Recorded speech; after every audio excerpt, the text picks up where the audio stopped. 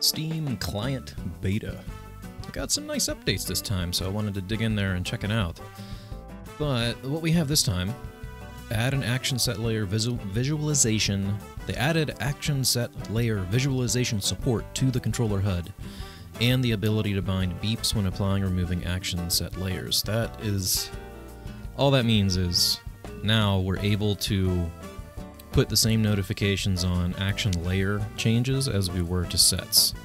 Now when you switch a layer, you'll get that same little uh, beep or text notification on the screen as you did when you were changing sets, which is really cool. I'm excited about that. A lot of people probably won't use it, but when you need it, it's really nice to have. Fix some cases where the Steam input configurator would get stuck with a blank view when previewing configurations or when deleting action sets. I have come across that. And holy balls, fixed a case where adding, deleting action set or action set layers would scramble which action, action set layer and apply action set layer binding points to. I have come across that so many times. What that what would happen was basically you're working on some really complicated profile with a lot of action layers or a lot of sets. You no longer need one of the sets or one of the layers, so you're trying to clean it up. You delete that, and then every other single binding got shuffled and changed. And then you'd have to spend an absurd amount of time going combing back through your profile to find every single set or layer change and fix it because it got all jumbled. So that is a huge fix. So, okay, what that's doing is like I have a build layer, apply action layer. Now we can do dis display the change, okay?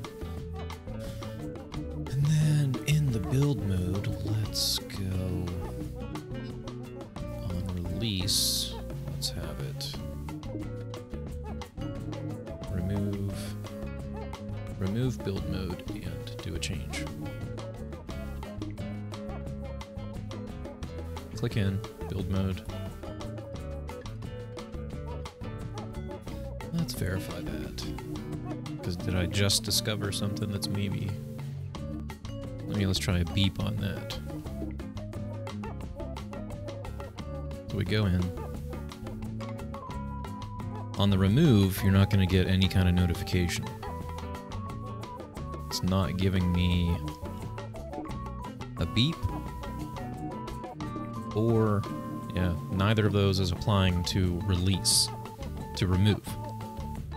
You get it on the apply. I was really hoping it would also apply, yeah, that, that's a bummer. But anyways, what it's doing is right there, like build mode. It's giving me that pop-up like it used to, like it does for uh, an action set. So now I know I'm in this fancy, different menu. I click again, I go out. Unfortunately, it isn't giving me a notification when I release it. That could be something that they could tweak because they just turned this on for the action layers. But I do like having that in there, and where I can see that being useful is like previously I would um like this one I clearly know I'm in this layer because it has a this radial menu, but in the past if I was doing some kind of weird tweak, I would put in that action layer, I would make one of the touchpads a radial menu just so I knew that I was on that layer. This way is at least telling me I know, okay, it put in that layer. The only limitation right now is I'm not going to know when this layer gets unloaded. There's no notification currently in this first implementation in the beta. But I still I feel like that's a that's a useful thing to have. I'm glad it's in there. Would you still want to use a set?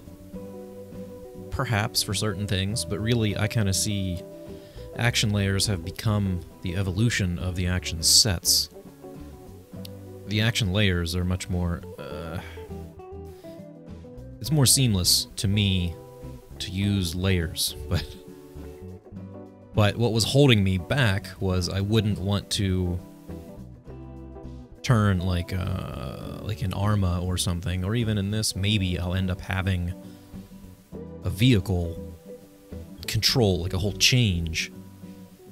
I would make that be an action set. But then as I'm building the profile, I'm still making a lot of changes to my default set. But then none of those changes are carrying over to the driving set because I made that a separate set. So now, if I make the driving controls a layer, I can give them a notification change just like I did with an action set.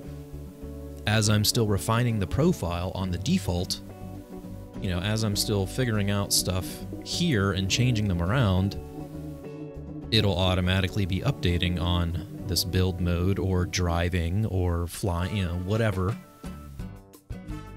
Instead of having to, that's been a, a personal frustration. You know, I'd have to keep going through the profiles and refining and making like, oh, well, you know, the game's in early, the game was in early access. They made some changes, so now I need to change what Y button did. Oh, I gotta go into these other action sets and change that too.